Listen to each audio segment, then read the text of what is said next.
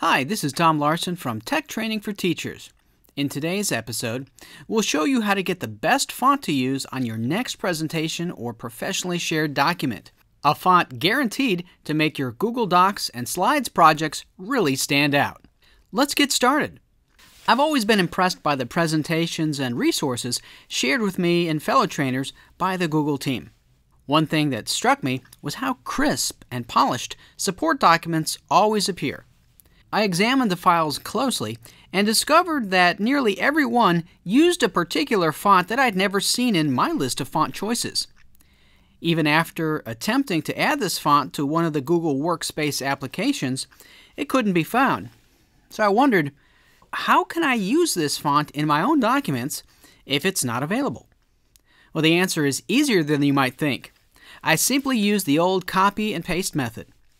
So here's how it works. This document uses the Google Sans font. It's what I'd like to use in a new document. You'll see, though, that when I begin a new document, Google Sans isn't an option in terms of font choices. As I said earlier, even when I attempt to add the font, it doesn't show up as an option. So here's what you do to get the font into your new document. Go back to the doc containing the text written in Google Sans and copy it. Come back to your new doc and paste it in.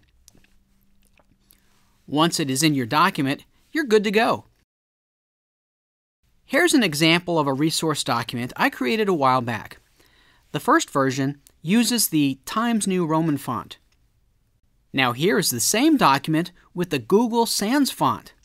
As you can see, it looks much more professional and the text, in my opinion, is just easier to read.